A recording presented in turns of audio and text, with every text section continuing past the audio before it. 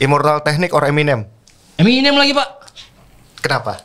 Eh storytelling ya pak. Ya Storytelling. mungkin ya, mungkin aja secara lirik eh, Immortal Technique lebih punya value dia lebih memang apa yang diomongin dia lakukan di kehidupan nyata juga tapi Eminem ngasih gue perspektif baru bahwa bajingan sebajingan itu bisa jadi apa yang dia mau gitu. Yoi. Eh, itu yang gue coba aplikasikan gitu. Gue tanpa perlu jadi orang lain, gue bisa jadi diri gue sendiri itu Eminem tuh pak.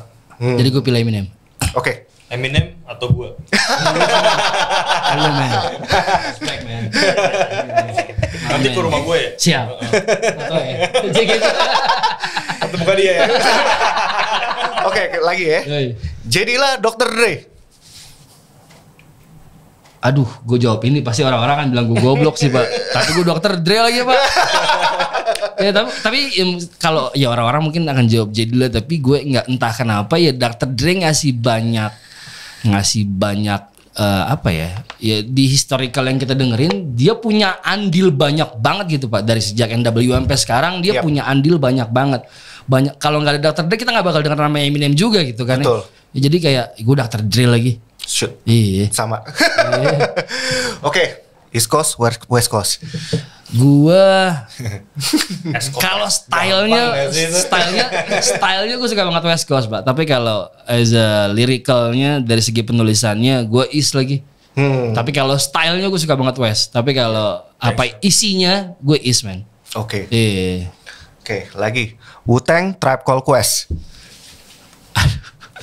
orang akan jawab Tribe Call sih tapi gue Wu-Tang lagi Wu-Tang ain't nothing to fuck with pak Oke, Wu-Tang oke, pak oke, Iya, oke, iya, oke, iya. oke, oke. Iya, iya. Sekarang lagi ya.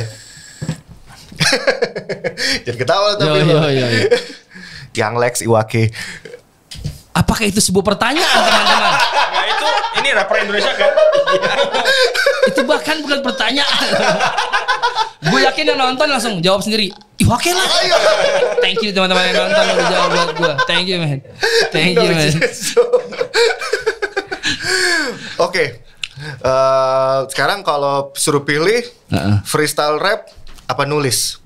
The, uh, nulis, nulis, nulis. Secara impactful nulis, tapi menurut gue as a rapper dua-duanya harus bisa sih. Oke. Dua-duanya punya punya elemen-elemen yang uh, beda tapi penting juga sih pak. Hmm. Tapi kalau gue suruh pilih gue lebih pilih nulis men karena itu akan jauh lebih abadi. Lu bisa mati tapi karena lu tuh masih ada di bumi. Tulisan lu masih bisa orang dengerin itu sih. Hmm. Nulis men. Terakhir deh. Eh, sweet martabak Psychoji. Wah berat ya. Psychoji deh, Psychoji, deh, Psychoji. Psychoji deh. Why? Eh, Sweet Martabak sudah mengalami proses transformasi yang berkali-kali gitu ya. Dan kalau secara cut gue ngitung ke katalog aja gitu ya. Ya Sweet Martabak pada era itu memang happening banget pak. Tapi kan maksudnya abis itu nggak ada nggak ada katalog baru ya. Yep. Igor nggak pernah berhenti bergerak men. Sampai sekarang pun masih ada EP baru, lagu baru, konten baru. Jadi gue akan pilih Psychoji sih. Hmm.